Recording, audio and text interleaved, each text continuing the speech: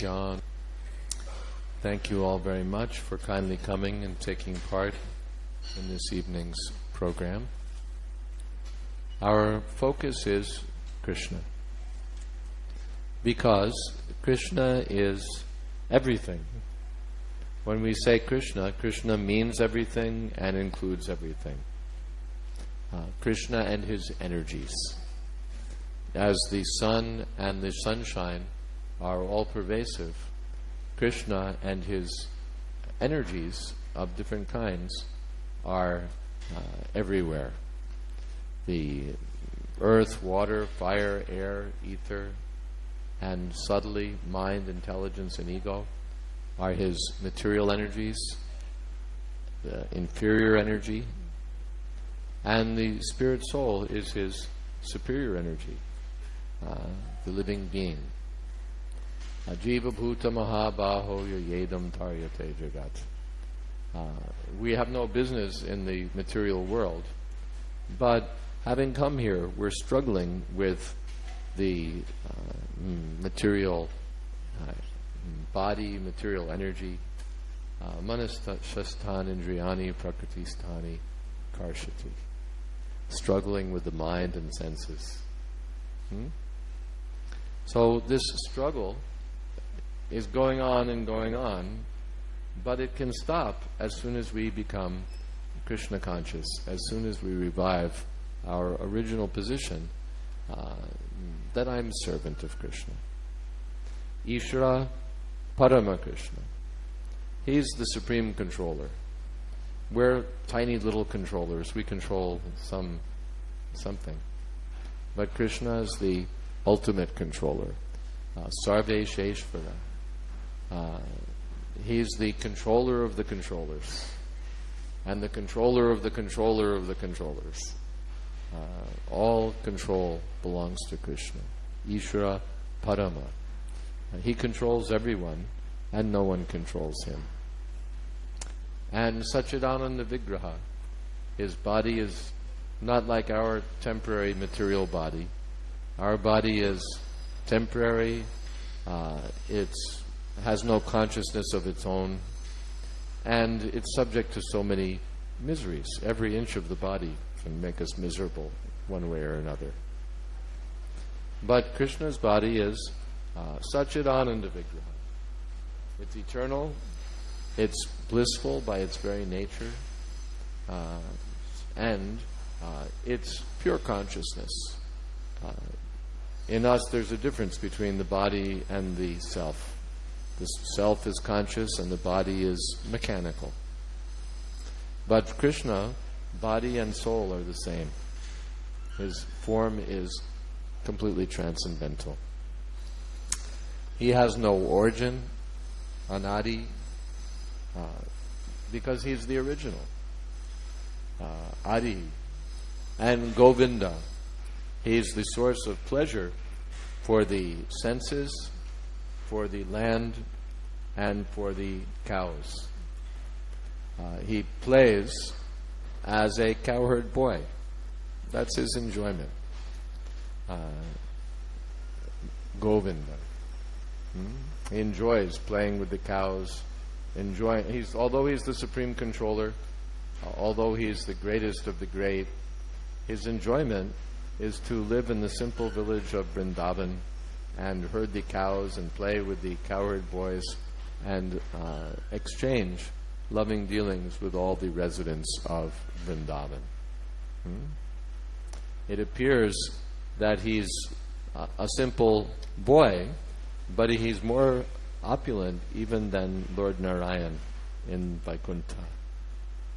So, the purpose of our Krishna consciousness movement is to revive our eternal loving relationship with Krishna and join Krishna in his uh, pleasure pastimes to render service to Krishna in the spiritual world. Hmm?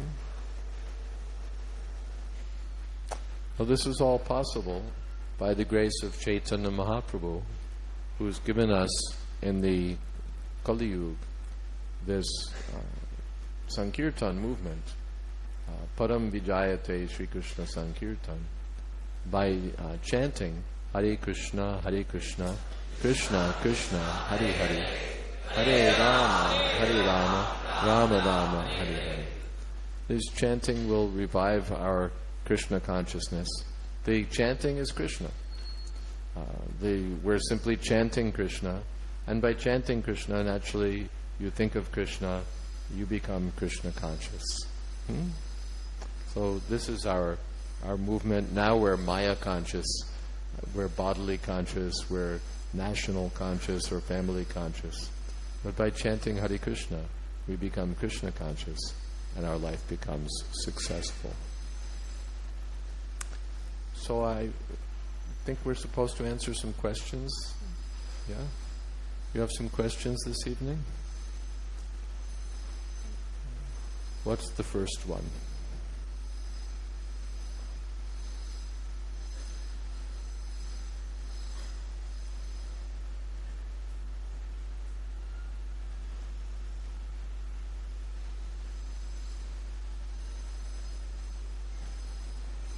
Hare Krishna, Hare Krishna Maharaj. Maharaj, my question is that uh, how to overcome this oh, boredom which comes in spiritual life over O- the years. overcome this boredom. It gets boring after some years. boredom. Oh. It gets boring, huh? Like it's, the 16 rounds and reading the same, hearing the same story sometimes gets boring. Oh.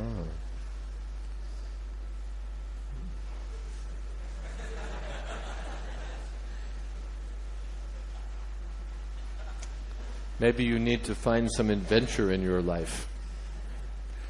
You can, if you take these same stories and try to present them to others, the same philosophy, and try to present it to others, then things start to get exciting. Actually, if we just try to keep it to ourselves, it gets boring. It gets boring. But when we try to spread it to others, then it gets exciting. That's a fact. Uh, the example given in Srimad Bhagavatam is that if you keep water in a cracked pot, it leaks out. And you know you're trying to keep it, but it's seeping out, and soon you have nothing. So if we try to keep Krishna consciousness and don't try to spread Krishna consciousness, it will be like water in a cracked pot. You know, the pot will be empty. But if we try to spread Krishna consciousness, then it becomes anandam buddhivardhanam, overflowing. And then there's all sorts of excitement. Where would you like to go to spread Krishna consciousness? Maybe you could go to the Middle East.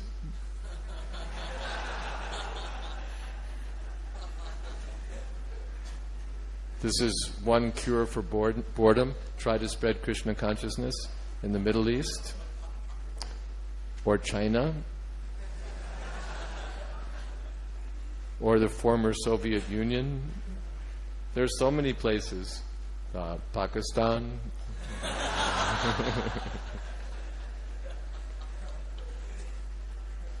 or even Bombay. uh, the more we spread Krishna consciousness, the more we realize Krishna consciousness. It's not just that the, we're benefiting others by speaking about Krishna, but we benefit by speaking about Krishna. Hmm? Is that all right? Good. Yes. Okay, the microphone is here. Maharaj, uh, the spirit soul is the superior energy of Krishna and Maya is the, the material energy is inferior. Hmm. Then why is it so difficult to resist the temptations of Maya? As we being the spirit souls, why is it so difficult to, to uh, why are we being overcome by the inferior energy? Because we've taken shelter of the material energy. Uh, just like the, well, no, I won't give that example.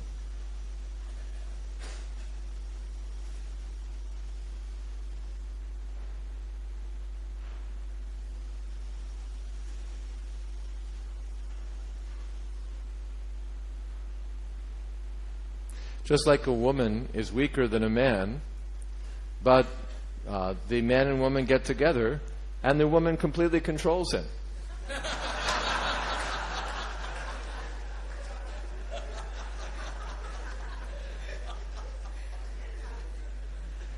right? Why? Because he's thinking that he, he's, he gives his heart to the woman and he's expecting all kinds of love and reciprocation and so on. So he becomes controlled. So, uh, in a similar way, we're giving our heart to the material energy and we're expecting every kind of happiness and pleasure, and so we're becoming controlled, although the material energy is inferior. Is that all right? Wherever the microphone goes, that's, that's where the next question is. Hare Krishna Maharaj. Uh, Maharaj, we know that uh, the like uh, the uh, comparing is the cancer of mind. But uh, when uh, when we uh, see when we feel ourselves as a somewhat less other rather than other, so that at that time we get the negativity complex. So how to overcome all these negativity complex? But though we know all this, that it is cancer. Especially with all the competition from the fans and the saws and everything, you need to go slower. And help me out. Just start again. I, I, it's something about inferiority complexes. I got that, but just go a little slower, and we have a lot of time. It's okay. Uh, we know that the uh, comparing is a, like cancer. Comparing the is, is like a cancer of mind. Cancer of mind. Yeah. Mm. So uh, when uh, uh, we, we, try to that, uh, we should not uh, do any type of comparison. Shouldn't. Should not try to, uh, should not try any, should not do any type of comparison with other, in like in studies etc. So when we see, when we feel like less rather than other, in studies less or in, than like behind rather than other. I think I'm getting lost.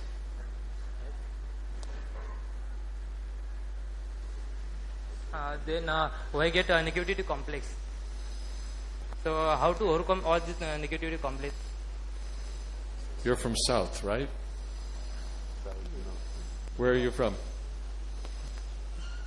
From Amravati, like Vidarbha, Vidarbha, Maharashtra. Maharashtra. Oh, okay. I just came from South, so everybody sounds like they're from the South.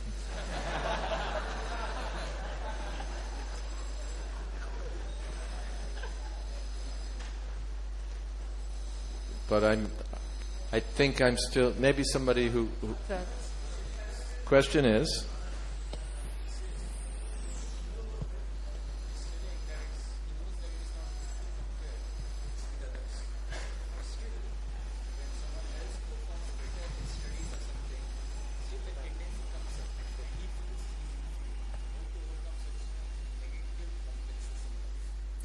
Okay.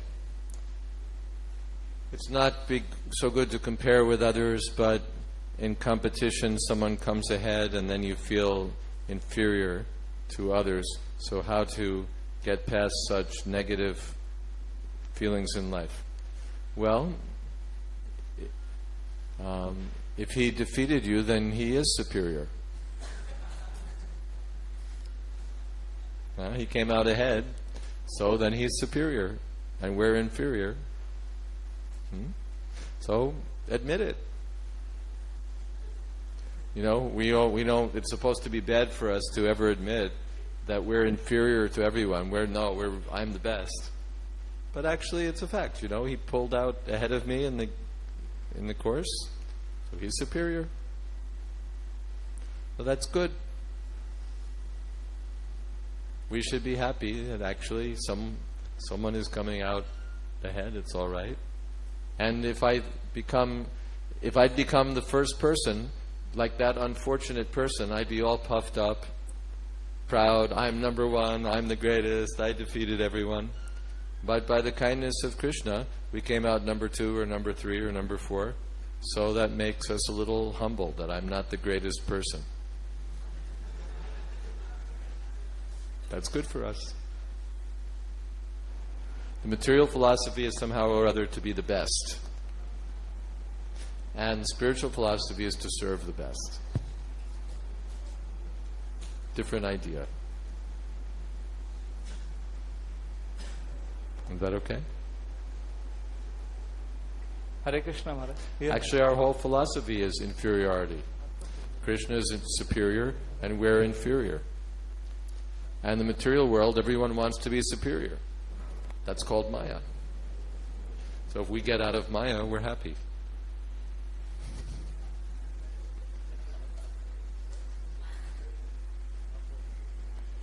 Maharaj, uh, there are two questions. The, I'm just translating it into English.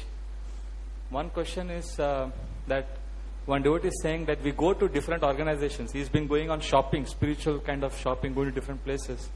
And wherever he mentions ISKCON, uh, people say, okay, you go, you practice spiritual life, okay. But when he comes here and he hears the philosophy, he feels very strongly that we have a very critical attitude towards many organizations and many philosophies. So he feels a little hurt. So he wants to know what exactly Krishna's opinion is and how should we understand? What exactly what, what, what? How should we understand this? You know, we feel hurt and we don't like it. So It is seems that as you get to closer to ISKCON, ISKCON is critical of other philosophies, Yeah. and that hurts. yeah, Well, ISKCON is critical of other philosophies. There's so many philosophies, you know, you're good and you're good and we're all good and but our philosophy is a little different. Krishna consciousness is good and so many other things are not good. Uh, there are so many bogus things, so many uh, I met some someone in the airport a few days back. Very nice person. He invited me that uh, he showed me a card that I'm from such and such organization, and this is our beautiful temple in Delhi, and uh, so on. I said, "Oh, it's very nice. Yes." Uh, and what is your philosophy? Oh, we worship such and such person. He's God. Vishnu avatar. So I said, Oh, really? Uh, where is that in Shastra? He said, Well, I, I, I forget.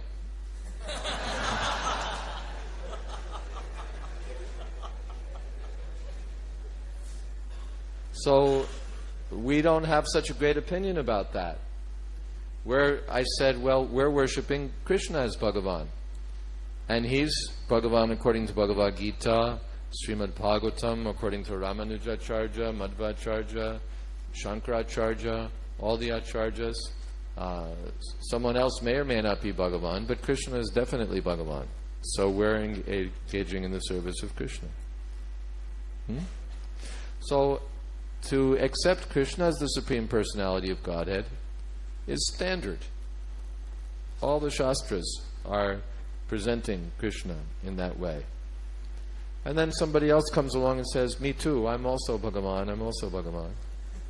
Or actually, that person never said he was Bhagavan, but his followers say, Oh, he's Bhagavan, he's Bhagavan. Uh, and then you ask, Where is that in Shastra? Oh, it's somewhere. We're not like that. Just like someone, there are law books. So what's there in the law book, that's law. And then someone else comes along and says, Oh, this is also a law. That's also a law. Uh, really? Uh, can you show me in the law book? Uh, it's there someplace. Uh, or, no, well, I, I made up that law. It's also a law. No, no, we, we can't accept that. It's not that everything is good. Just like food, there's good food, and then there's poison food.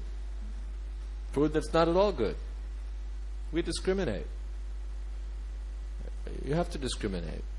Life intelligence means discrimination. It's not that if that everything is fit for eating.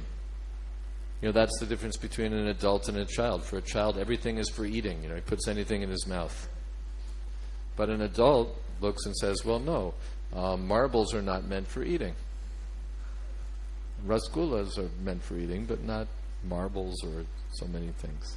That's called discrimination. So, Srimad Bhagavatam, Vedyam Vastavam Atra Vastu Shivanam. The Srimad Bhagavatam proposes to discriminate between truth and illusion. The whole material world is the world of illusion, and in this material world, one of the propensities uh, is tendency to make mistakes, and another tendency is a tendency to cheat. And you know, it's not a big secret. The world is full of cheaters. In business, there's so many cheaters. In love, there are so many cheaters. In almost any field, in education, there's so many people you know, cheating. So it's not really surprising that in the spiritual field also there'll be so many cheaters, so many charlatans. You know, someone who produces a little uh, ash and he's God. You know? And if you watch the video, you can see how to do it. You can learn to do it too. Any, anyone here want, wants to be God? Anyone here would like to be God? We can train you how to do it. I have, a, I have a, one of my god brothers is, is a magician. You can go study under him, and you can be God like that also. Do some magic tricks. You can produce some gold, some ash, some you know Shiva lingas can come out of your mouth and stuff like that. But this is the material world. It's full of cheating. It's full of cheating. So, as in purchasing something or choosing whatever it is, you have to discriminate between the real thing and the bogus thing. So in the spiritual field also, you know, if you anytime you you pass a 500 rupee note, the person looks at it very carefully.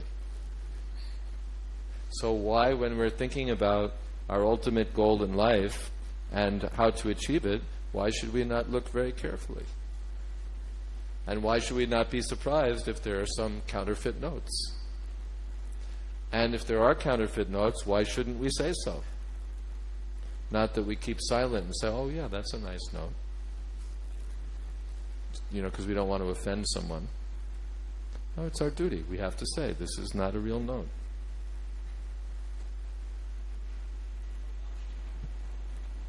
Hare Krishna. One more last question one devotee has. He says uh, that uh, we are very inspired by sannyasis in ISKCON who have been in the renounced order like yourself for almost 40 years, more than 40 years. And we also are inspired to join Brahmachari Ashram. But we are we face lot of uh, opposition from parents. Two things: parents and many responsibilities like earning money and fulfilling certain obligations. And we feel it seems impossible to join. So how do we face this? You know, we have a desire, but we are not able to translate it into action. So how can we join the ashram? Well, these things you have to consult with the local devotee. I think your, the local devotees here are experienced in these questions. Pretty much, I think everyone who's joined the ashram has a similar experience that they joined over the objections of their parents and their superiors, and they had so many responsibilities. And somehow or other, they managed to, you managed to join. Hmm?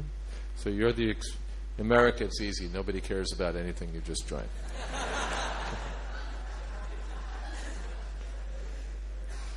but here, because you're responsible and cultured people, there are some obstacles. So that makes it a little more difficult. But so many examples are sitting here how they've overcome those obstacles. You can also do that. Uh, because this is not the highest, but it, even consider, you know, that people do this for far less important causes. People give up their family for some national cause. Mahatma Gandhi practically neglected his family responsibilities to work for national independence. So, what was more important, to be the father of few children or the father of the country? Hmm? He thought that to be uh, to free India, the people of India from the British rule, is more important than earning money as a a barrister. So maybe our parents think he was wrong, that he should have stayed at home and made money and served his family. Then, you see? So there, there's the little general standard responsibility to serve my, my parents, to serve my home, to serve my family, to serve my community. And then there are more important causes that deserve our attention. And the most important cause is to get free from the cycle of birth and death, to get free from material existence, and to help others get free from material existence. Even the national movement is really a material movement. You know, now you have independence, the British aren't in charge, but everyone's still eating the same future patis or the same, you know, it hasn't changed. There's so many problems then, there's so many problems now. Just now we own the problems before somebody else owned the problems. It doesn't solve the ultimate questions of life. But here's the ultimate issue, the ultimate campaign, the ultimate goal, the ultimate project. So if we sacrifice some lesser responsibilities for the greater responsibilities, that's not wrong. If I, if I sacrifice my uh, greater responsibilities for some lesser thing, if I give up my parents to go, you know, drinking and smoking and women, that's very bad. Because I have responsibilities and I'm neglecting them for something irresponsible.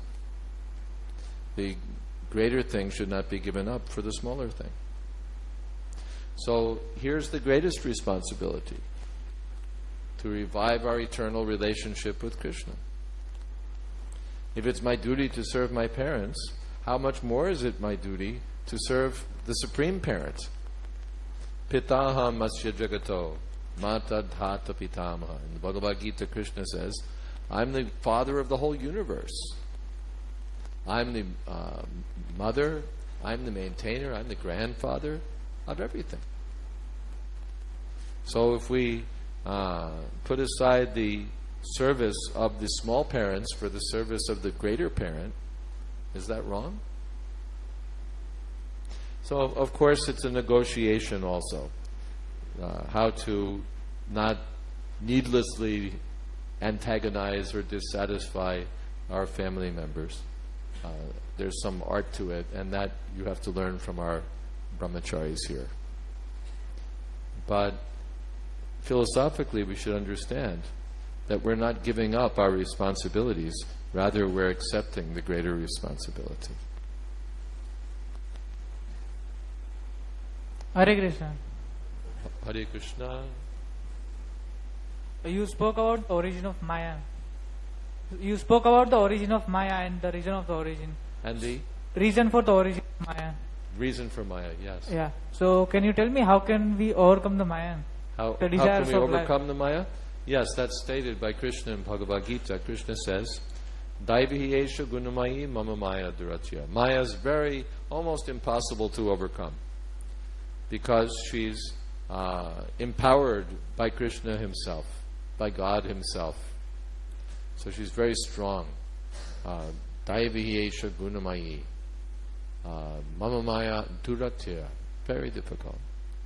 But mameva ye prapadyante maya me tam tarantite. If we surrender to, when we surrender to Krishna, at once we cross over Maya. Krishna is the controller of Maya. When we surrender to Krishna, then Maya's finished. Simple formula. Uh, Hare Krishna. Hare Krishna. Why does a person fears God? Why does a person fear God? I don't know, just like we fear, you know, a person with a gun or a cow with big horns. God's very powerful. Actually, And, and also, for, from another point of view, why do the criminals fear the police? shouldn't we actually love Him, love God? Yes. We should love God. In the Bible, it said, the fear of God is the beginning of knowledge. The fear of God is the beginning of now. The beginning is to be to have some uh, little to understand the power of God. God is very powerful. Uh, he can wipe us all out in a second. So, just like our uh, parents, there's some fear there. That if I do the wrong thing, just like Krishna, he, he was stealing butter, so his mother came with a stick to beat him. So Krishna was fearing. Uh, so the children have some fear that if I misbehave, then my father may do something. He may hit me. He may punish me. There's some fear. So that fear is actually healthy so that we learn some discipline.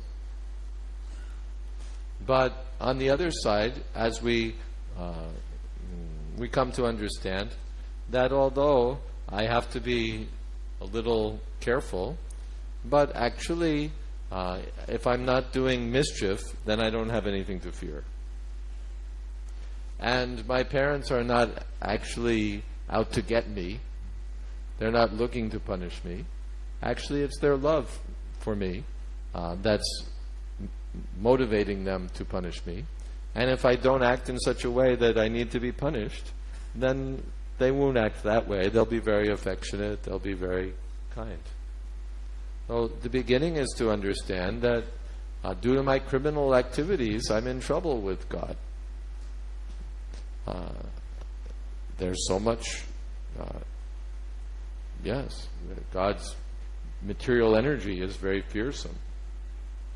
God Himself is there as time, and He's killing everyone. Hmm? So some fear can be there. But as we purify our hearts, then the fear becomes love. The fear becomes love. All right, then what about the statement? Karmandevadikaraste ma phaleshu.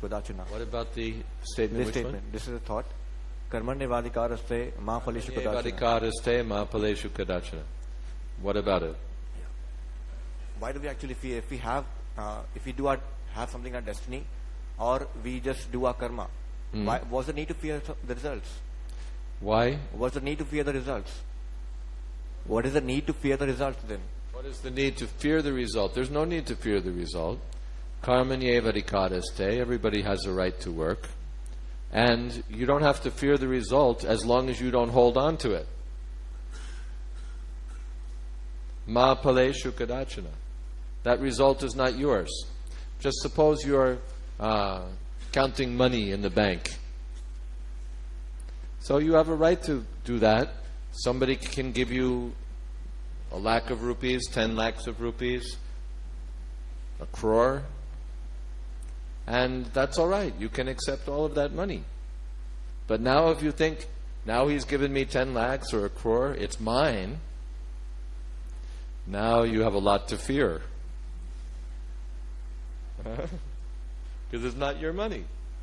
You're just acting on behalf of the bank. You're a servant of the bank, and your job is to take in however much it is and give out however much it is.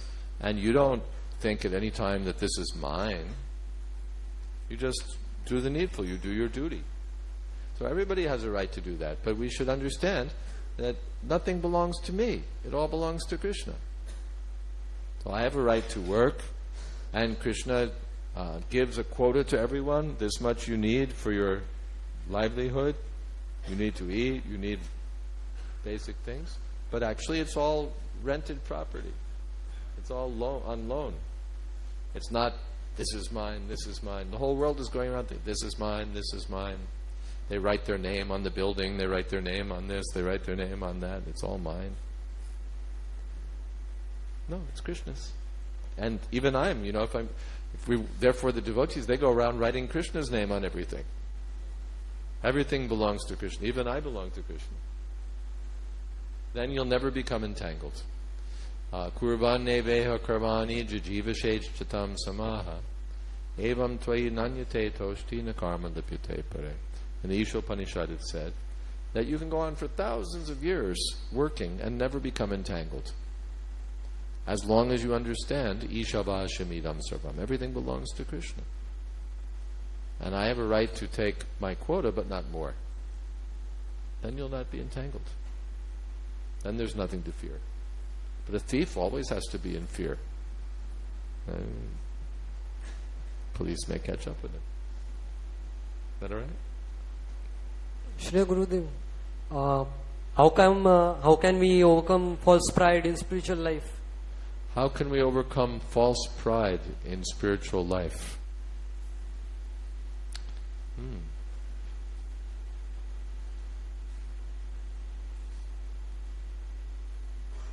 By association with those who are more advanced. For two reasons, just like this gentleman was saying, you know, that people come out ahead of us. So when we associate with the more advanced devotees, then we'll see. uh, I'm thinking I'm something, but see how much more advanced this devotee is. So that's good for us, you know. I'm not the number one greatest. I'm, you know, I still have so much to learn. And another reason why it's good is that those who are actually advanced are humble. So by association with those who are humble, we also become humble. Is that okay? Uh, if uh, one just chants 16 rounds daily, then can he overcome uh, mind and material senses? If one just chants 16 rounds daily, can he overcome Maya and the material senses? Yes. By chanting Hare Krishna attentively. You know, Maya will, this is the medicine.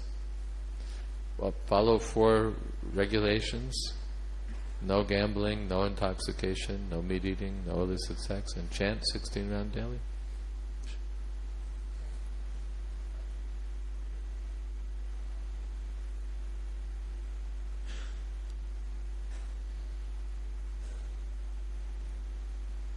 I, I have one question. Uh, people say that you should always pray to God when you are in difficult phase, you have a lot of anxiety.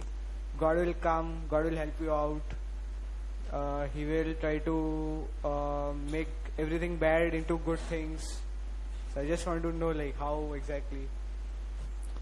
Yes, generally people, of when they're fortunate, sukritina, like, uh, pious people, when they're in trouble, pray to God.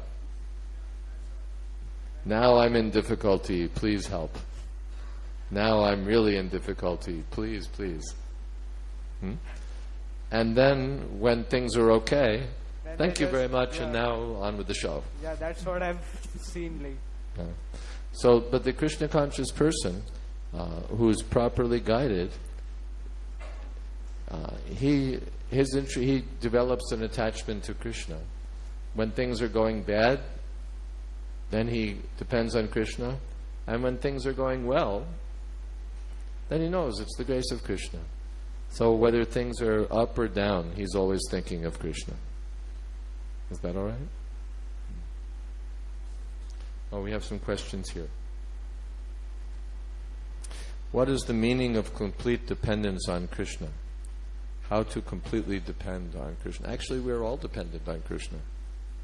You can't even take your next breath without Krishna. Krishna is supplying the air, Krishna is supplying the power to the lungs. You can't even take your next breath without Krishna. So, like, you know, we, whether we understand or not understand, we're dependent on Krishna. It's just a question of realization. The self realized person understands yes, I'm dependent on Krishna for everything. Yes.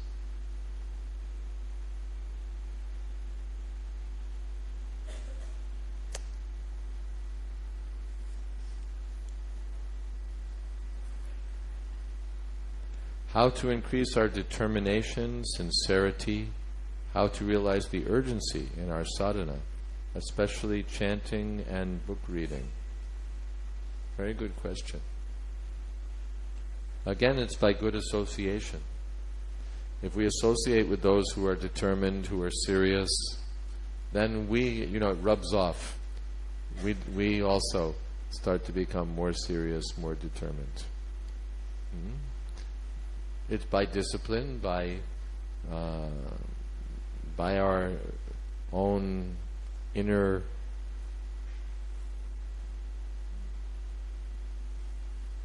desire, and it's also by association. Even if we may not be very strong, when we're in the association of those who are strong, then we develop strength also.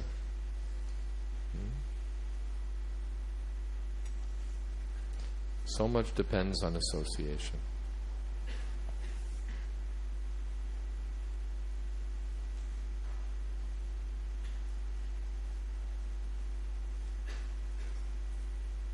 Hmm.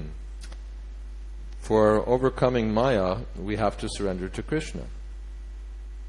But when Maya attacks, specifically lust, then we lose desire to surrender to Krishna. Then we want to surrender to Rekha or whoever it is.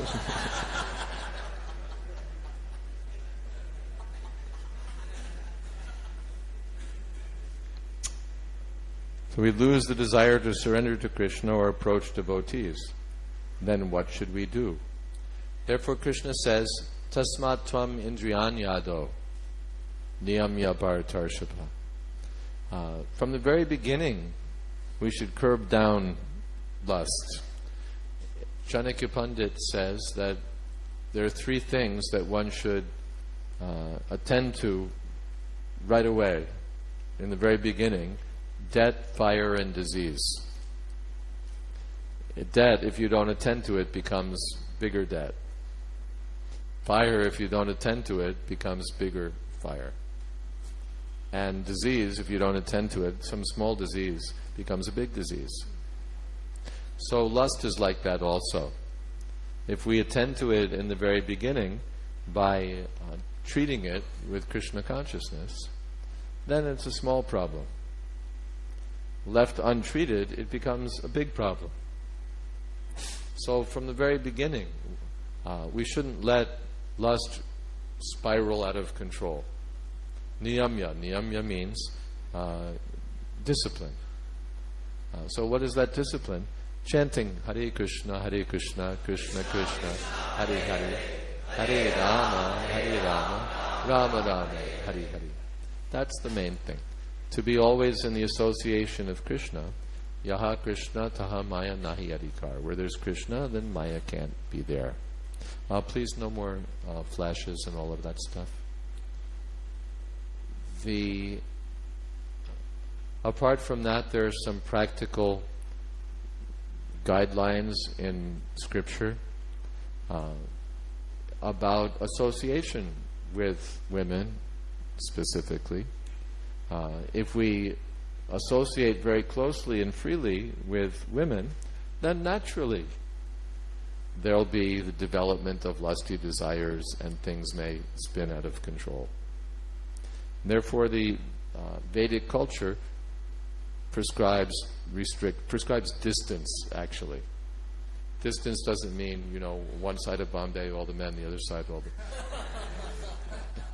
But it means that we shouldn't mix very in the Western style. Bombay has become rather westernized. Uh, but in traditional Indian culture, still, the men and women don't freely hang out together and so many things. Why?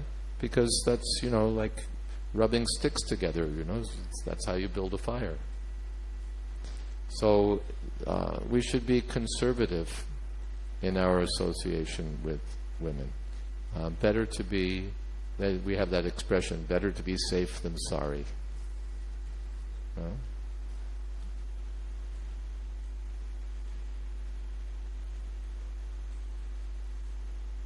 Prabhuji, we like normally Vaishnavas or any religion you take. Vaishnavas or any religion you take? Any religion for that matter we like to associate ourselves with the kind of people who have the same thinking or same guidelines mm. which is followed. And normally, if we take Vaishnavas, like mm. we'll do whatever is told by our guru and whatever adharma is going outside, Krishna will take care of it. I'm totally against that. Bec- I I'm a devotee of Krishna as a friend. So I'm totally against him coming down, taking avtaras because people You're co- eventually completely against. don't Wait, wait, understand. wait, wait. What is it you're completely against? Krishna taking avtaras again and again. Krishna What are you taking against? What are you against? Avatars. You're against against it. Well, it does, if you're against it, does that mean he can't do it? No, no, no I'm, What's I'm your trying to make a different point. Okay. The point I'm trying to make is we don't try to curb adharma. We, We don't try to do what? curb adharma. To Do what to adharma? curb. Stop. Oh, one person I, We don't try to curb adharma. adharma. Okay. Okay, we like, we'll do this, we'll pray, we'll chant, and whatever outside has to be done will be done by Krishna. But I have total faith on the Gita and its power that I know if I step out alone with faith in Him and I want to do something good, nobody can stop me. Because I know He's there with me. I'm not like, it's pride or ego that I'm going to stop it. I know because He's with me in today's world, adharma is way ahead than dharma. Hmm. I'm not talking about doing good for the society. You can do good by uh, giving food to the beggars or doing some social service. I'm talking about fighting adharma. All the corrupt politicians. That's fighting adharma? Yes. Wait a second. Let me think about that a second. Giving food to beggars is how you fight adharma. Is not how you fight. That is social Not how you fight. No. Okay, now we're on the same page. Good. So No, it's good. Yeah. But I'm more against what are we as Krishna conscious people doing to fight this adharma? Yeah, good question. The, uh, it's very good. It's not that Vaishnav means that I'll sit in the temple and Krishna can come as an avatar and, and fight adharma, and I'll chant Hare Krishna and take prasadam and sleep in the temple. We don't find that Arjun told Krishna that you fight, the, you fight the Kauravas, I'm going to take rest or go chant on my beads. He was active. Krishna had some program for fighting adharma, and he told Arjun, Nimitta matra bhavasavya sachi. I want you to be instrumental in my mission. So it's very good. We should all think that it's not that Krishna is supposed to do everything and I'm supposed to do nothing, or Krishna is supposed to do everything. He can fight adharma and I'll watch television. But our business is to serve Krishna. So if Krishna's program is to fight adharma, then I should help Krishna. I should be serving Krishna in fighting adharma. Just like Ram had a program for fighting adharma, so Hanuman uh, assisted in that program. Uh, Ram could have done everything. He didn't need Hanuman. He's all powerful. But Hanuman volunteered that let me also render some service. So, in that way, we should all uh, desire to help Krishna in his mission. In this uh, Kali Yuga, Krishna has descended as Chaitanya Mahaprabhu for spreading this Yuga Dharma, this chanting, Hare Krishna, Hare Krishna, Krishna Krishna, Hare Hare, Hare Rama, Hare Rama, Rama Rama, Hare Hare. So, uh, all of us, we can spread this chanting. Ask people wherever you go, Jai Dakotarika Krishna Pradesh. Give them this instruction. Chant Hare Krishna. Give them this knowledge. Uh, imam uh, dharmamritam idam. This Bhagavad Gita. Krishna says, no one becomes more dear to me than the person who spreads this message. So the temple has whole casefuls of Bhagavad Gitas. So take some. Take some, distribute. Uh, meet people. Please, you're, you know, you have, you're so fortunate. You've taken your birth in India. You're living in India. You have, this is the heritage of India, and you've not understood the message of Krishna. Please read this Bhagavad Gita. Please chant Hare Krishna. Please become Krishna conscious. Uh, then people may or may not, but now we're doing our duty. The way you get rid of adharma is to establish dharma. Dharma samsthapanartaya. So it's very, very good to have that spirit that not that Krishna will do everything, but I have to help. So just like Prabhupada, he went in his old age to America to spread Krishna consciousness. And by the grace of Krishna, it was such a successful thing. And Prabhupada used to say, I am only one Indian. And by the grace of Krishna, my little efforts have had some su- success. But Chaitanya Mahaprabhu said, Bharata bhumite manusha janma hoilojar. Janma sarta kori kara paropakar. And everyone who's taken his birth as a human being, manusha janma, in India, should make his life successful in Krishna consciousness and do paropakar, spread it for the benefit of others. So Prabhupada used to say, I'm only one Indian. Now, if so many other Indians take it up, what will be the benefit? How much benefit can be bestowed on the world? Just if, suppose in this whole room, everyone takes it seriously. Someone takes this country, someone takes that country, someone takes this province, someone takes that province. Spirit Krishna consciousness can spread like wildfire. So it's very good. Keep that spirit. Thank you very much. Be a leader of this Krishna consciousness movement. People will be very indebted to you. Haribol? Ah, here. so, I just came across this statement of Srila Prabhupada in, um, in the purport of the fourth verse of Nectar of Instruction, Mhm. where he says that in all parts of the world there are different religious systems are established, and whenever a religious system turns into love of God, then it is it is um, perfect. Mm. Then it, it, it yeah it is perfect. Mm. So my question is, on the one side, we um, you know we like when we are preaching, we like to say.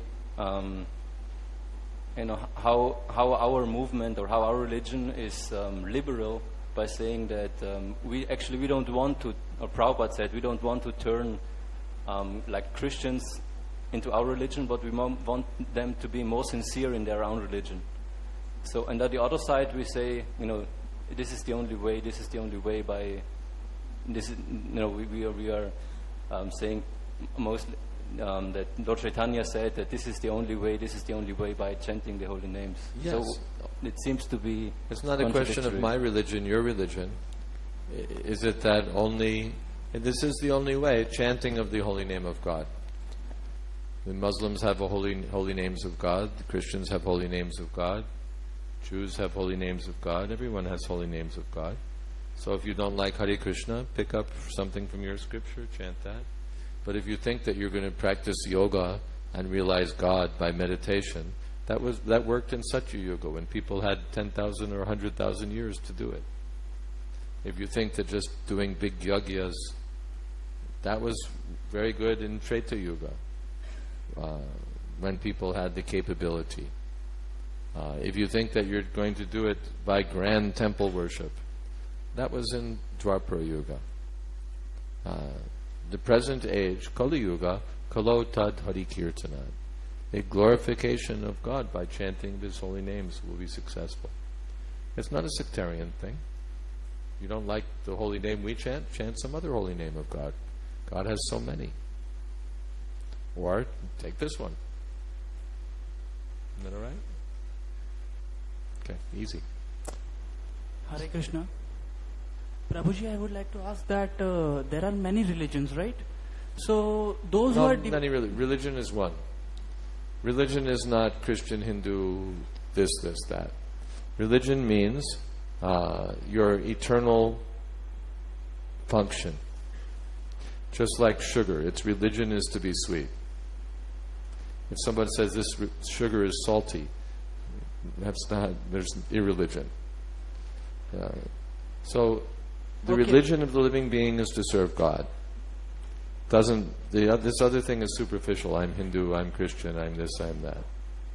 The real religion is one. Okay, fine. So, uh, any other, like, uh, suppose a Christian is a a great devotee of Jesus, and Very he is good. worshipping Jesus like anything, Hmm. right? So will he get liberated in that particular birth? Huh? Will that person get liberated? Yeah, why not? He just has to do it.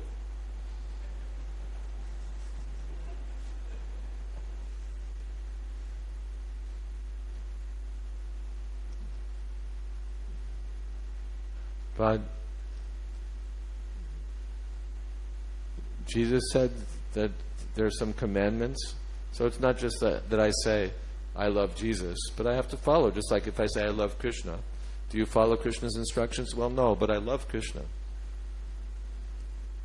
So love means follow also. Just like Jesus said, Thou shalt not kill. Not that, you know, I love Jesus and I run a slaughterhouse. So these principles are universal. No intoxication. It's not that, well, if you're Hindu, intoxication isn't very good, but if you're Christian, it's fine. Uh, no illicit sex. Well, that's for the Christians, but for the Hindus, it's all right. No. These are universal religious principles. No gambling, no intoxication, no meat eating, no illicit sex. Hmm? So we don't care what religion, you know, what, what label we put on ourselves, but we should follow the principles of religion, actually.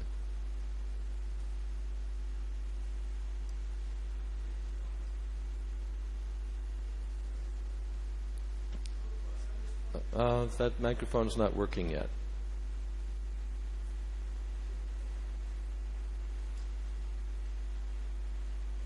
Maharaj, if a person is from different sampradaya, If a person is is from different sampradaya, a different sampradaya, can he join the ISKCON movement and can take diksha from Guru Maharaj of ISKCON?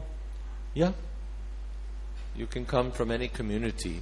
Sampradaya means community, spiritual community. So anyone can come from any spiritual community and join ISKCON. Mhm.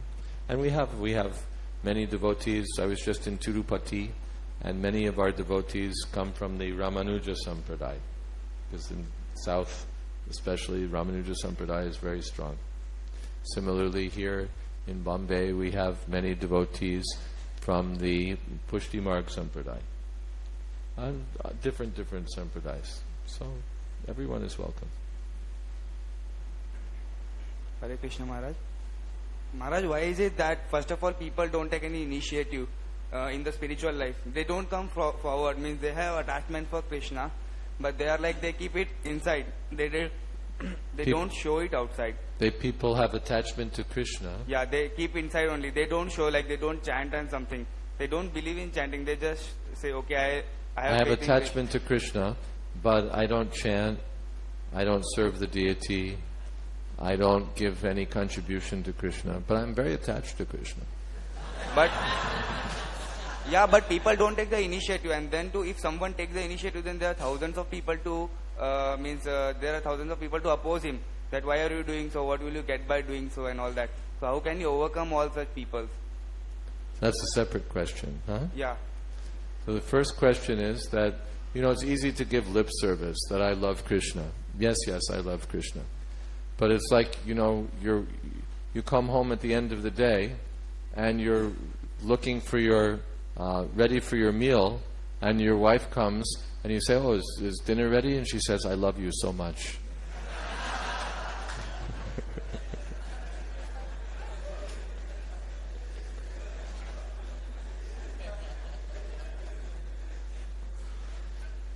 Love means service. It doesn't mean oh, I'm so attached to you, I love you. It means I do th- something for you. So if I love Krishna, then I'll want to serve Krishna. And if I want to serve Krishna, then Maya has so many agents. What are you doing that for? Why are you wasting your time serving Krishna? What about, well, what about me? what about us? Or what about this or that or the other thing? Yeah, that's called Maya. So our business is to reject Maya and cultivate Krishna consciousness. Is that all right? Krishna Maharaj, uh, how to maintain the good relationship with the Vaishnavas. And sometimes we have ego problems with the How Vaishnavas. to maintain a good relationship with Vaishnavas. Sometimes we have ego problems with them. Sometimes we Have ego problems with them. Ego problems. ego problems. How to overcome the propensity. Rupa Goswami recommends that there are uh, six ways to develop nice, loving relationships with Vaishnavas. The first is uh, mm, dadati. Give them something. Uh, everyone likes to get some gift. You can cultivate that, that to give something to the devotees. Maybe big thing or small thing, could be some little anything. Give something. Just like in the material world, how do you make a relationship with someone? You give you know, you find something they like. Here, this is for you. Oh, really? So you try to please the Vaishnavas by giving them something. It doesn't have to be. A, they say it's the thought that counts. Not that you have to go broke spending money on the Vaishnavas. You give some, some a small thing. And the second thing is pratigrinnati. When they give you something, then accept that. To receive something as a gift, just the devotees are giving something, uh, even some flower, mahaprasadam, or they're giving some book or something. So to uh, give something, give and take, give and take. Dadati pratigrinnati. And guhyam akhyati, uh. Uh, to reveal your mind to someone. That creates an intimate relationship. You come to me and say, you know, I was thinking about this and this and this. What do you think? I don't know who to. I'm not telling anyone, but I thought I'd talk to you. Then that creates an intimate relationship. And guyamakyati, to inquire from the Vaishnavas. So what's going on with you? You're, you're, everything is all right. Uh, any problem is there, or anything? Huh? Uh, or we inquire from them about Krishna. Uh, we tell them something that we heard about Krishna. We inquire from them something about Krishna. That's bodhyanta parasparam, enlightening one another about Krishna. Uh, so that exchange of ideas or exchange of confidential knowledge, either something confidential knowledge about Krishna or about our own life in Krishna consciousness, so that creates closeness among the devotees. And bhunkte bhojayate chaiva. Everyone likes to get something nice to eat. So give some prasadam to the devotees. Distribute prasadam. Uh, something, something, give. Oh, I have some prasadam for you. Devotees will be very happy. And when you, uh, some Vaishnava is giving prasadam, then accept. Uh, that's also to be, to be on the other side, the receiving side. So these are all give and take relationships. Hmm? To give a gift, to receive a gift, to reveal your mind, to hear while a devotee reveals his mind, and to give some prasadam, some food, and to accept. Uh, Sadvidham Priti Lakshanam. These are ways to develop loving relationships. And if you develop these loving relationships, then ego doesn't get the chance to uh, crop up.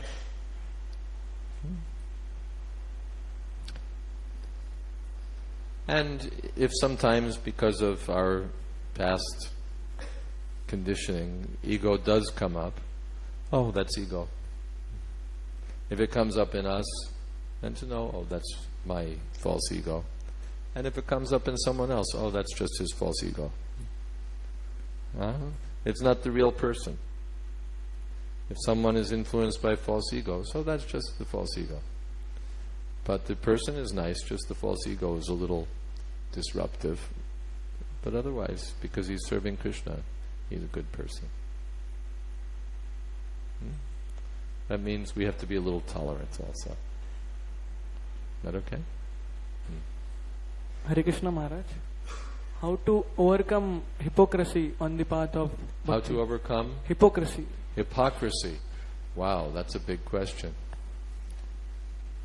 In ourselves or around us? In ourselves, yeah, that's the hardest one.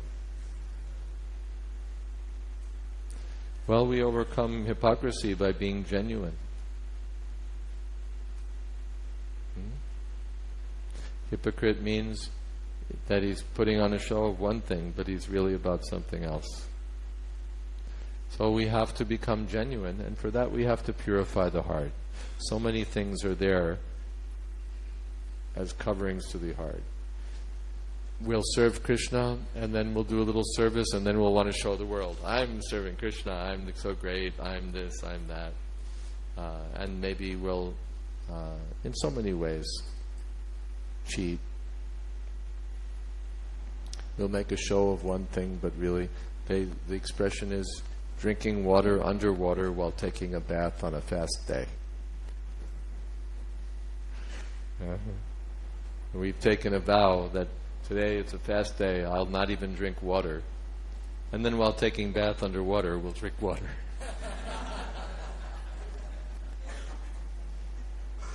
so uh, these things we overcome by cultivating the real thing. The false thing is driven out by the real thing. Hmm? The darkness is driven out by the sunlight. Oh, look at all these questions. Okay, let's take a few more. Hare. Krishna Prabhuji. Okay. I am interested into getting Well, well, well, first we need to get a, a fix on your location. Where are you here? Okay. Hare Krishna Prabhuji. I want to get information about Karma Yoga, uh, Bhakti Yoga and Jnana Yoga. Karma Yoga, Bhakti Yoga, and Jnana Yoga. Very good. Bhakti Yoga means pure devotional service to Krishna. Karma means uh, material activity, ordinary material work for sense enjoyment. And Jnana means mental speculation, figure things out. When karma comes in touch with bhakti, when it gets a coating of bhakti on it, it becomes karma yoga. Yoga means plus. When you add Krishna, the karma becomes karma yoga. When you add Krishna, the gyan becomes jnana yoga. And when it comes to pure Krishna consciousness, that's bhakti yoga. Is that all right? uh, how we will improve the, our Bhakti Yoga means uh, to improve our life in this Kali yuga means How do we improve bhakti yoga? means uh, how it will helpful to us means how it will it should be improved by us means what type of karma we should do means What kind of karma we should do? Anukul karma. Anukul means whatever is favorable for the service of Krishna, that we should do. Anukul yasya sankalpa, pratikul yasya varjanam. Whatever is favorable for the service of Krishna, that karma we should do. And whatever ever is unfavorable, that karma we should reject. Then how do we know what's favorable and unfavorable? From the Shastras, from books like Bhagavad Gita as it is, from Srimad Bhagavatam, from the sadhus, the devotees, and from the spiritual master. Is that all right? Hmm. Shall I take a written question? See what else is here.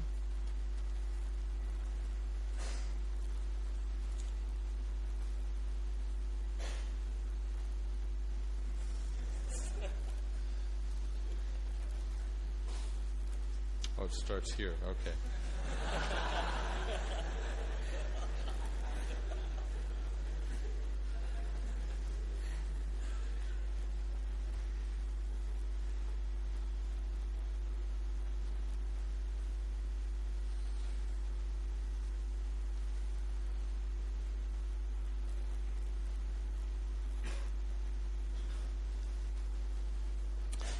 It is said that when we do something good, we are not the doer. We are just the instrument and the hand of Krishna. But when we do something wrong, we blame our karmas and we become the doer.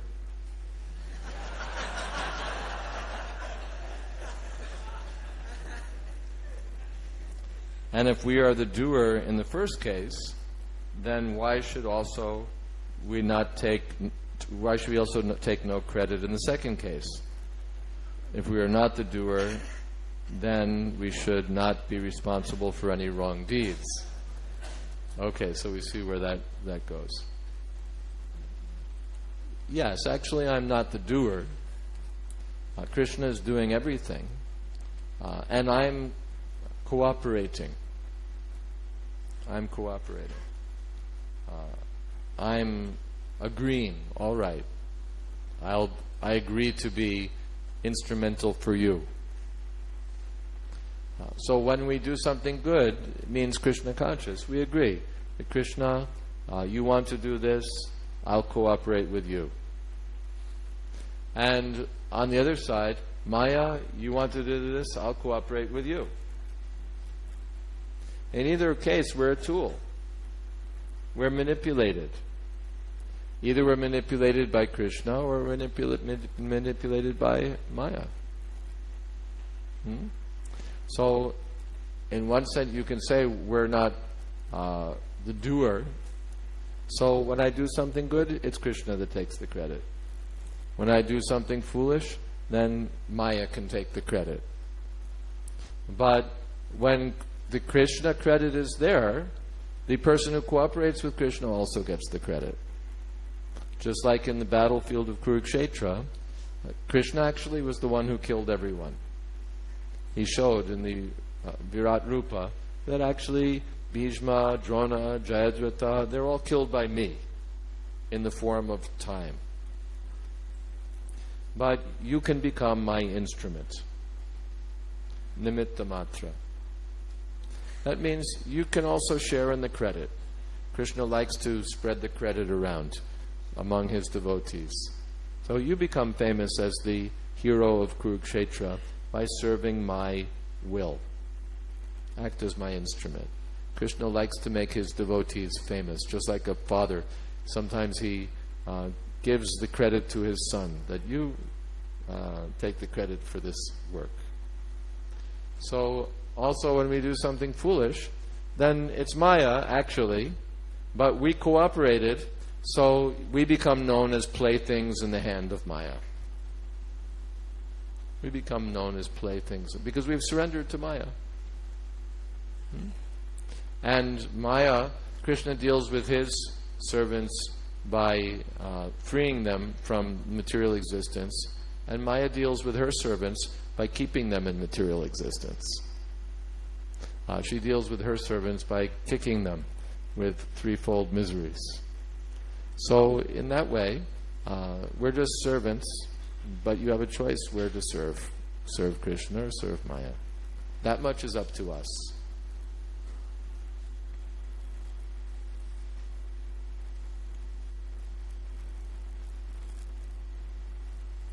If one has to go for a job at the place where there's no association of devotees, how to remain Krishna conscious and enthusiastic? Well, first thing is this have to. Uh, we may not have to go to a place where there are no devotees. If possible, we should go to a place where there are devotees. I know many people, they've gone to one school, not another, or one job, not another, because in the one place there were devotees, in the other place there were no devotees. Chanakya Pandit says one should never go any place where there's no river, no doctor, and no friend. No temple and no friend. You know, people are going here and there, but if there's no river there, then not a very good place to go. If there's no doctor there, it's not a very good place to go. Hmm. If there's no temple there, then it's not a very good place. And if you have no friends there, then it's another useless kind of place. So if there's no Krishna consciousness, then why go there? We try to avoid. Better to go to the place where there are devotees.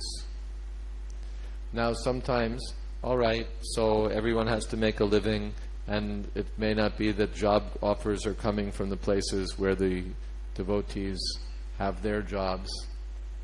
Hmm? So then I sometimes have to take something this way, that way. So then maintain uh, the, the touch of devotees as far as possible. Suppose if you're working in some job, some other side of Bastud, still come to the temple, associate with the devotees, uh, hear either on the internet or uh, from CDs or one way or another, read the books and stay in the association of Krishna by following the same practices that the devotees are following. There's also another way. If there are no devotees, make some devotees.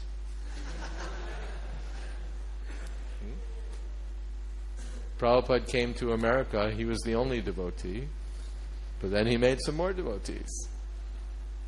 So that's also, you know, you go to work, they'll preach to you. They'll talk to you about what interests them. They'll talk about cricket, they'll talk about this, that. So if they're doing it, you can do it. If they, if they can talk to you about this nonsense that you're not interested in, you can talk to them about what they're not interested in.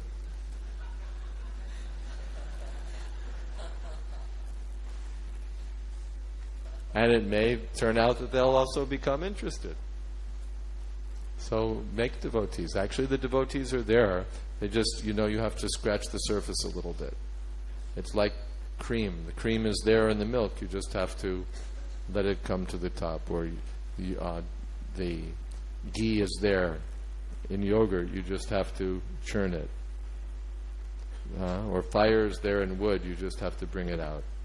So Krishna consciousness is there in the heart of everyone. And make the attempt, and you'll see. Uh, you can make others. As you, someone made you Krishna conscious. It's like electricity. It travels from one person to the next. Uh, yeah, okay. Hare Krishna. Uh, Maharaj, uh, the other day, one of my friend was asking me. I mean, he said that uh, Krishna. Sorry. A friend one of was my, asking yeah, you. my friend, he was asking me. I mean, he made a statement.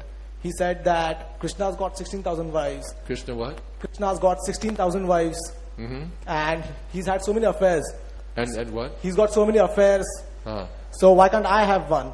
And Why can I have one? Yeah, yeah, he asked me. And of course, Krishna protecting his wives and Krishna not having lusty desires doesn't really appeal to people. I mean, they feel uh, they cannot relate to it. So how can we answer them in a way which well, first of you're contradictory. The person is saying Krishna has 16,000 wives. He had so many love affairs. Yeah. And why can't I have one? Yeah. And then you're saying, on the other hand, that these affairs don't ap- appeal to no, people. no, no. A, I'm saying a devotee who's answering him.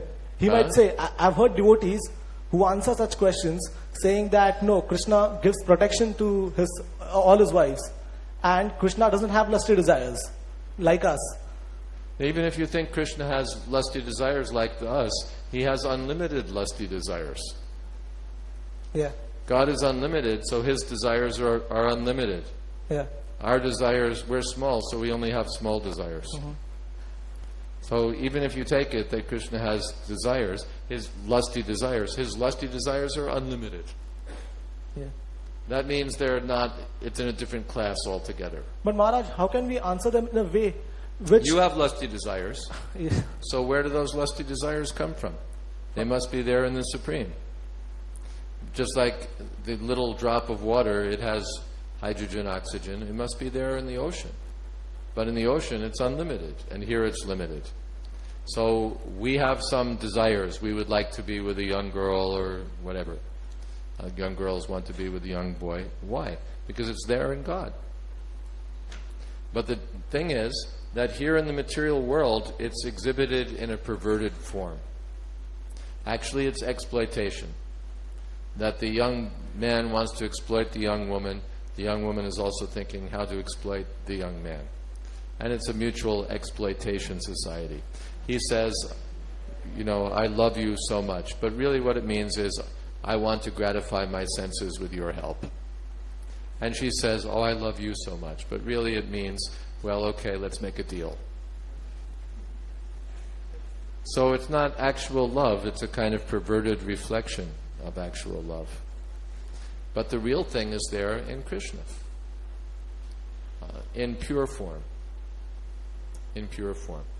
The same thing that appears impure in our case is pure when it's touched by Krishna.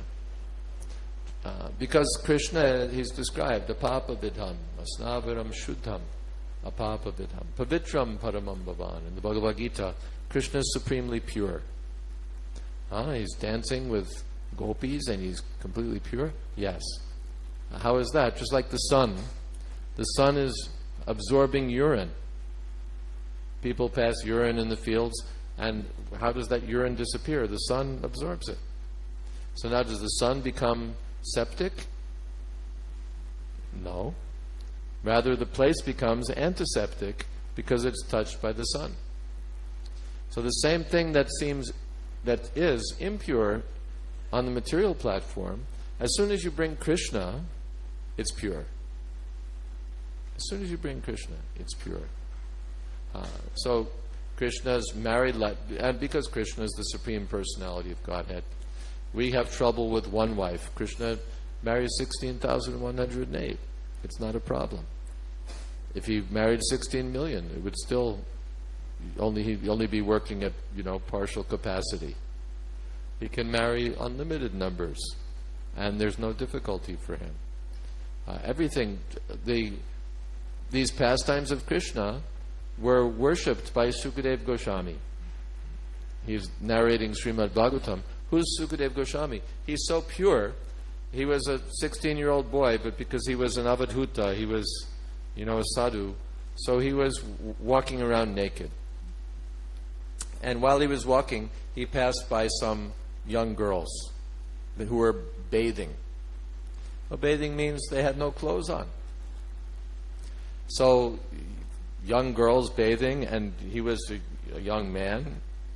He came by, but they, they looked at him, but didn't even bother to put their clothes on. Because they saw from his face that there's no material thought in this person. Just like a child. You know, the women dress or undress in the presence of the little children. They don't think, oh, no. Because the children have no lusty desires. They, they have no lusty desires.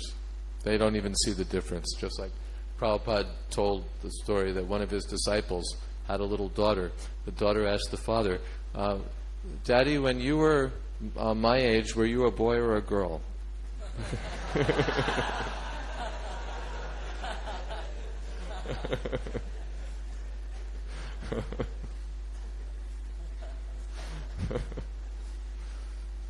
so the girls looked at Sukadev Goswami and they, they knew that he doesn't see any difference. There's no material consideration. So that Sukadev Goswami, he's the speaker of Srimad Bhagavatam. He is talking about the, the pastimes of Krishna and the gopis.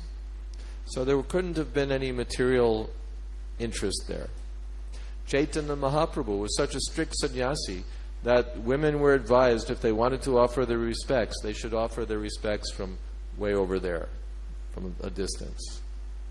He'd never had any close association with Very strict about one of his associates who was in the renounced order happened to glance lustily at a young woman. He kicked him out.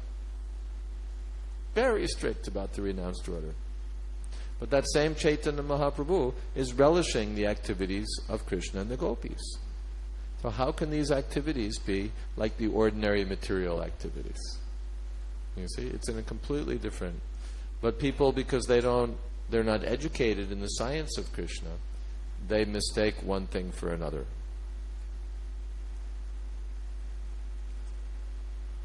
Thanks a lot, Maharaj. Thank Very you. good. Should we answer a few more questions or should we stop? Tell me who's in charge. What should I do? Two or three more. Okay.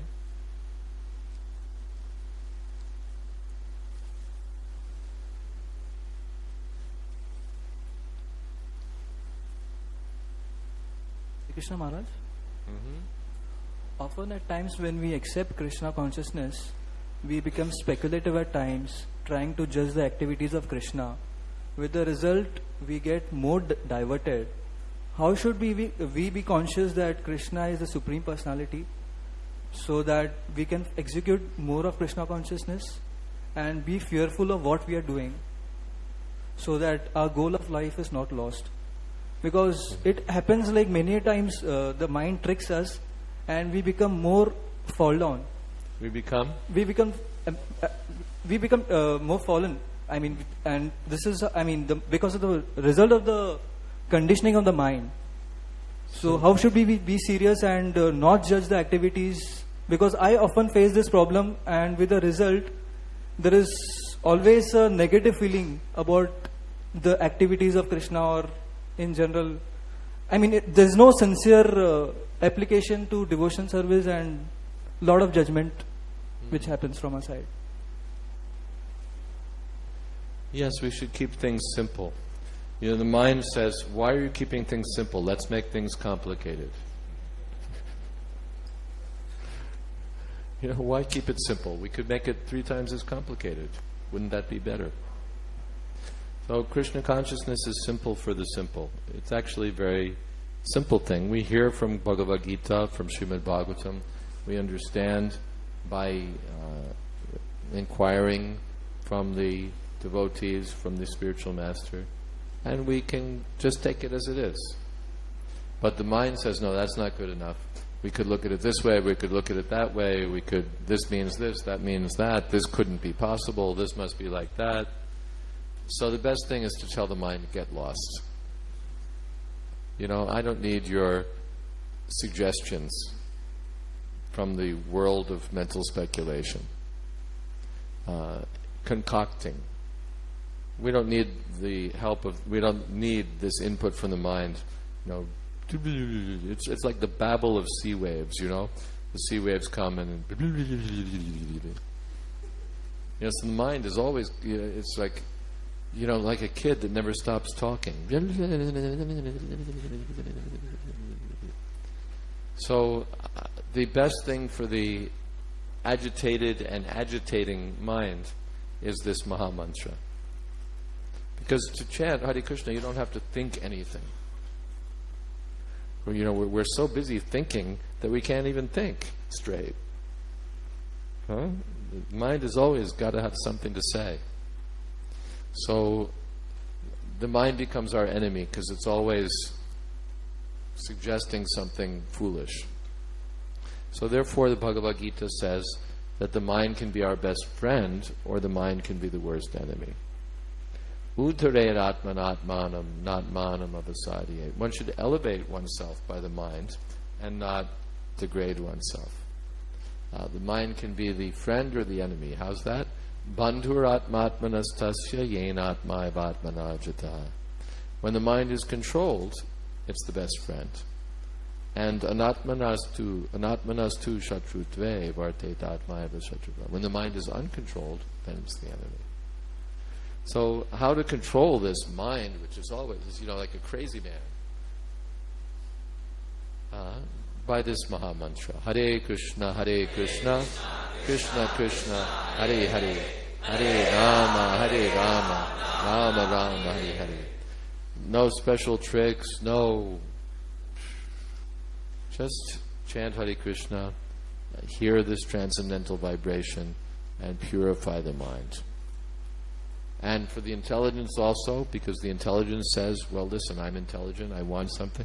We have so many books, Bhagavad Gita, Srimad Bhagavatam, to fully absorb our intelligence, fully engage our intelligence. Is that all right? Good. Hare Krishna Maharaj, thank you very much for uh, your invaluable time and wonderful association. Uh, I wanted to ask, uh, is it uh, justified if we commit sinful activities to spread Krishna consciousness? Of course, spreading Krishna consciousness means it's not sinful. Uh, But there's no need to do anything dishonest to spread Krishna consciousness. No need to uh, do anything dishonest. Of course, sometimes we do something illegal to spread Krishna consciousness. Just as we go to countries where Krishna consciousness is banned. And even to talk about Krishna is against the law. To spread Krishna consciousness is illegal. So we may sometimes transgress the law for a higher purpose. Uh, but the best thing is satovrate. to be honest in one's occupation, to be yesham trantagadam papam. Uh, Krishna consciousness is possible when one has reached the end of sinful activities. So there's no need to be sinful for the service of Krishna. Uh, Uh, Maharaj, the thing is, I'm doing a base class, and I had actually lied in my office that uh, I have to take some treatment for six months because uh, you know I'm not feeling well. So every Oh. Saturdays and Sundays I have to go because Sundays also we work. So it's it's okay, na? I mean, yeah. You're taking some treatment. I just lied actually to come to the base class. Which what? Base class. There's a base class. Bhakti Shastri course. Yeah, okay. There's a Bhakti Shastri course. So for that also I'm, I've just lied that, you know, I've just come, I've just, I'm just lied to the India office. So that's okay, na? Like, Ah. To attend the Bhakti Shastri course, you had to lie at the office. That's transcendental lying.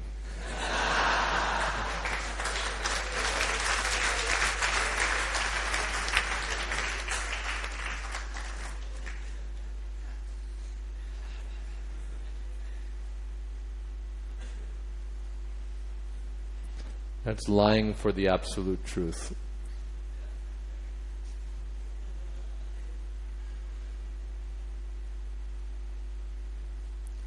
But we shouldn't develop a fondness for, you know, make our whole way of life dishonest. But if sometimes we have to do something for the service of Krishna like that, that's all right.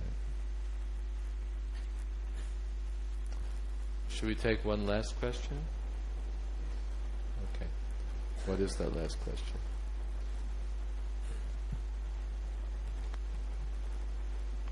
Hare Krishna Maharaj. Hare Krishna. Maharaj, if uh, not even a blade of grass moves without Krishna's desire, then uh, is the uh, forthcoming Kali Yuga or the degradation of the, all the pious activities, dharma, is it Krishna's desire or? Yes. Krishna Kali Yuga is also Krishna's arrangement. Just as the prison is also the government's arrangement. And the solitary confinement, the worst part of prison, that's also the government's arrangement. So this is part of Krishna's arrangement, the prison house. But the government doesn't desire that people stay in prison. And Krishna doesn't desire that people remain stuck in the material world. So he makes Kali Yuga, it has to be there, but he also gives the Sankirtan movement, uh, by which people can be freed from the effects of Kali Yuga. It's said that the uh, people who know the essence of things actually worship Kali Yuga. Why? Because simply by Krishna Kirtan, people can become Kalo Sankirta Keshava. They can attain perfection by chanting the holy name of the Lord. Is that okay? But after 10,000 years, there, there will Then, be. after 10,000 years, Kirtan movement is finished. Then it's only degradation. Why? Because that's what people want. They want to be degraded. Just like some prisoners. Why are they in prison? They want to be criminals. They're offered the opportunity. We'll send you to college. The same government that's sending them to prison would more happily send them to college. But they're insisting, no. Why should I go to college? Let me rob a bank. Then go to prison. The material world is here, in one sense, not because Krishna wants it, but because we want it.